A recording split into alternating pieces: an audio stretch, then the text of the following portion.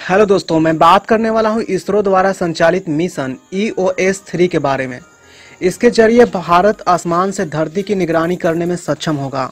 ई O S three अपनी तरह का पहला सैटेलाइट है, जिसे जियो सिंक्रोनस ट्रांसफ़र ऑर्बिट में स्थापित किया जाएगा। तो चलिए दोस्तों, इसके बारे में मैं आपको विस्तार से बताता हूँ। क्या है अर्थ ऑब्जर्वेशन सैटेलाइट भारतीय स्पेस रिसर्च एजेंसी, यानी कि इसरो ने अंतरिक्ष में एक और इतिहास रचने जा रही है। 12 अगस्त को ISRO earth observation satellite E O S three launch करेगा।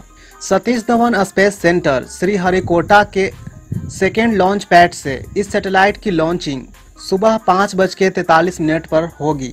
इसरो के मुताबिक ई ओ एस थ्री की मदद से अपने हित के बड़े क्षेत्र की रियल टाइम इमेज उपलब्ध हो सकेगी। इसके अलावा यह अलग अलग एजेंसियों को मौसम व जलवायु परिवर्तन से संबंधित डेटा की जानकारी भेजेगा।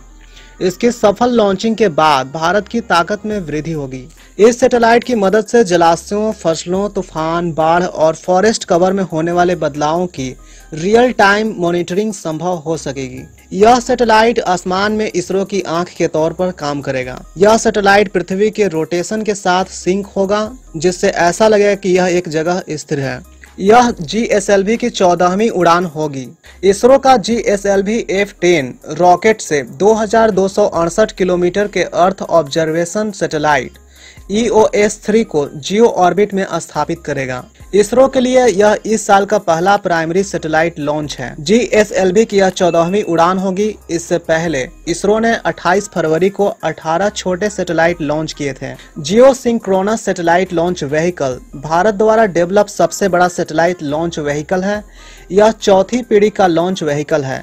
इसमें तीन स्टेज और चार बूस्टर हैं।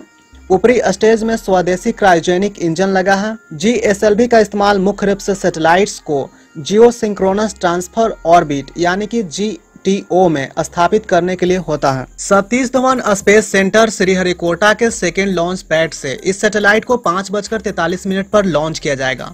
हालाँकि इसका फाइनल लॉन्च मौसम के हालात पर निर्भर करेगा। बुधवार सुबह तीन बजकर तैतालीस मिनट से ही इसका काउंटडाउन शुरू होगा। E O S three satellite को G S L V F ten vehicle की मदद से धरती की कक्षा में स्थापित किया जाएगा। यह अपनी तरह का पहला सैटेलाइट है, जिसे जियो सिंक्रोनस ट्रांसफ़र ऑर्बिट में स्थापित किया जाएगा। धरती से यह करीब छत्तीस हज़ार किलोमीटर ऊपर होगा। इसरो ने ट्वीट कर काउंटडाउन शुरू होने की जानकारी दी है। इसरो ने ट्वीट किया G S L V F ten E O S three mission launch के लिए काउंटडाउन आज। सतीश धवन अंतरिक्ष केंद्र, सार श्रीहरिकोटा से सुबह तीन बज के तैतालीस मिनट पर शुरू हो चुका है।